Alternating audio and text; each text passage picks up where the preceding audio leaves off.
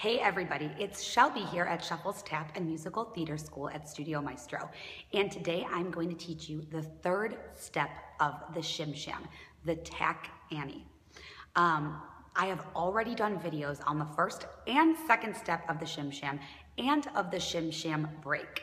And um, whether you want to learn the whole Shim Sham or not, you do need to go and watch the Shim Sham break video because we use that break in this third step of the shim sham. So check that out, get comfortable with that, and come back here so we can get started on the tack Annie, the third step of the shim sham. So let's get started.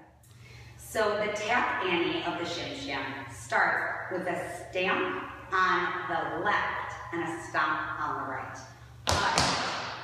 I did teach that as part of the second step, the crossover step as well, because I think it's really good to get that transition coming out of step two and going into step three. Um, our left foot happens to be free, which is why this is sort of a cheat where we do one stamp and one stomp so that our right foot is ready to go. Now, the basic thing we have to do in the tapping is do a brush and a touch from a stamp. That's the trickiest part.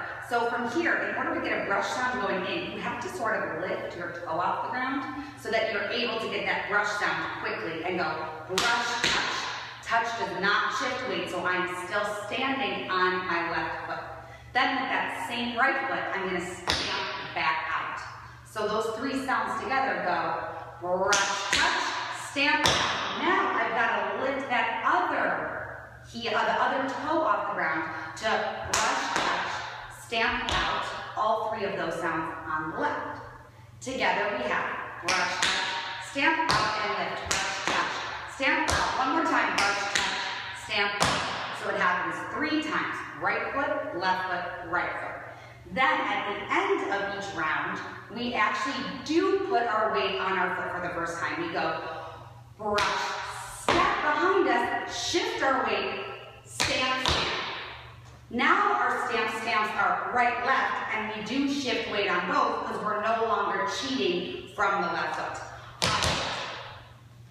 So that last part goes brush, step behind, right, left. All together, one round of this step would go. Brush,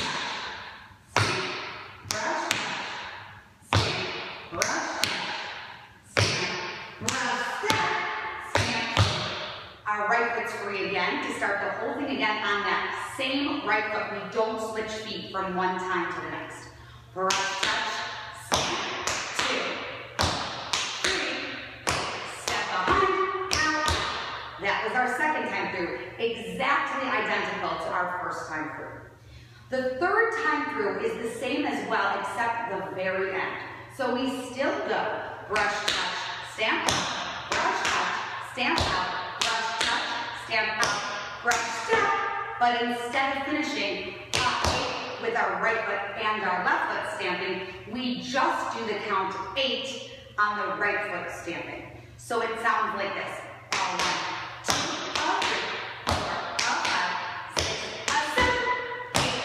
Do you see how there's that little extra pause? A seven, eight versus a seven, a eight. So be ready to balance for an extra little second before you put that right foot down. Putting that right foot down on eight is the beginning of our shim sham break. So would go eight, one, two, hop back, hop back, out. That's the entire tack Annie. So now we need to put it together. We have two times through our step, exactly the same ending. The third time through we end eight, and then we go into our shim sham break. Five, six, seven, up,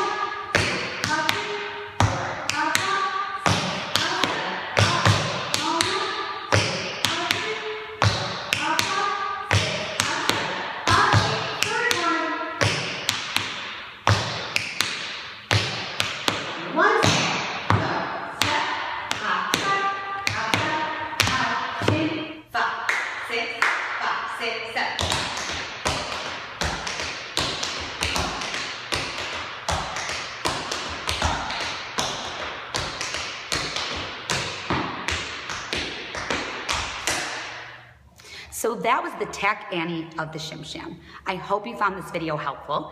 I will definitely go ahead and finish off the Shim Sham because there's only one more step we need to learn to know the whole thing. Um, but after that, I'm happy to teach other pieces of rep. So if there's something you've been really wanting to learn, let me know. And if I know it, I will go ahead and teach you in another video. So thanks so much for watching and I will see you in our next one. Bye.